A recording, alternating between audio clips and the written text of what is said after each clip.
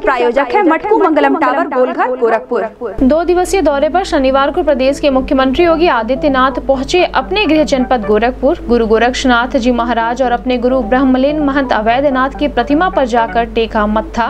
बाढ़ पीड़ित परिवारों को वितरित किया राहत सामग्री। रविवार को वाराणसी के लिए होंगे रवाना। नभ, जल व थल तीनों मार्गों से सीएम योगी ने लिया बाढ़ का जायजा। हवाई सर्वेक्षण के साथ ही सहजनवा के एक गाँव में पहुँचे लाइफ बोट से बाढ़ और जलभराव का हाल जानने सड़क मार्ग से आए सहजनवा से शहर तक सीएम ने कई बच्चों को दुलारा खिलाया अपनी गोद में। एक बच्चे की उंगली पकड़कर घूमे गाँव में।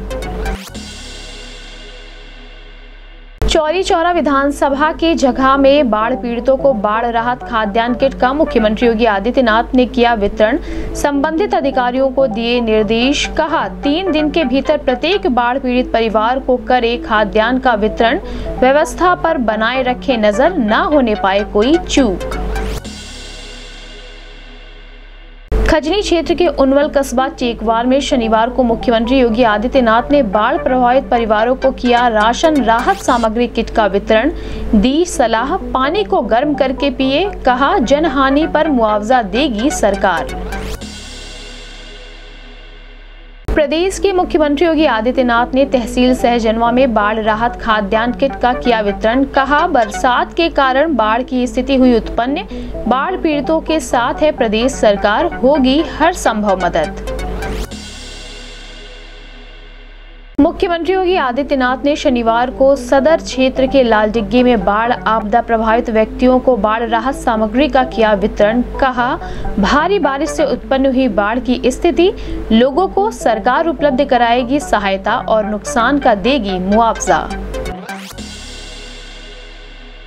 जनपद में कुल छप्पन जगहों पर किया गया ग्यारह लोगों का वैक्सीनेशन। फ़र्स्ट डोज लेने वालों में एक हज़ार आठ सौ तेईस तथा सेकेंड डोज लेने वालों में नौ हज़ार छह सौ बासठ लोग रहे शामिल।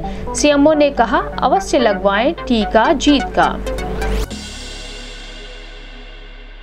केंद्रीय वित्त राज्य मंत्री का नगर निगम में किया गया अभिनंदन। नौ नियुक्त कर्मचारी समन्वय समिति के पदाधिकारियों को दिलाया शपथ। सम्मान से अभिभूत दिखे केंद्रीय वित्त राज्य मंत्री। जगह क्षेत्र में मुख्यमंत्री योगी आदित्यनाथ द्वारा बाढ़ पीड़ितों को राहत सामग्री वितरण कार्यक्रम के पहले जिलाधिकारी ने किया कार्यक्रम स्थल का निरीक्षण, दिए आवश्यक दिशा निर्देश। दो दिवसीय रामायण कॉन्क्लेव का शनिवार को योगी राज बाबा गंभीर नाथ प्रेक्षागृह और सांस्कृतिक केंद्र तारामंडल में हुआ शुभारंभ। विद्वान संत साहित्यकारों ने लोकमानस में राम विषय पर व्यक्त किए अपने विचार। कहा, सबके है राम, सब में है राम। गोरखपुर में शनिवार को नहीं मिला कोई नया कोरोना संक्रमित मरीज़। ज़िले में कोरोना संक्रमित मरीजों की संख्या हुई उनसठ अब तक आठ सौ उनचास कोरोना संक्रमित मरीज़ गवा चुके हैं। अपनी जान नौ हुए एक्टिव मरीज़। सीएमओ डॉक्टर सुधाकर पांडे ने की पुष्टि। गोरखपुर विश्वविद्यालय में पहली बार सेल्फ फाइनेंस मोड में आयोजित हुआ बीएससी और एमएससी एग्रीकल्चर की प्रवेश परीक्षा। 3710 अभ्यर्थी हुए शामिल। आठ सौ पंचानवे अभ्यर्थियों ने छोड़ी परीक्षा। परीक्षार्थियों ने कहा, परीक्षा पैटर्न में बदलाव से पेपर था टफ। और जनपद की तीनों नदियाँ उतार पर शनिवार की शाम तक नीचे पहुँचा नदियों का जलस्तर। जनपद में 333 बाढ़ प्रभावित गाँव में लगाई गई 431 नावें स्थिति नियंत्रण में।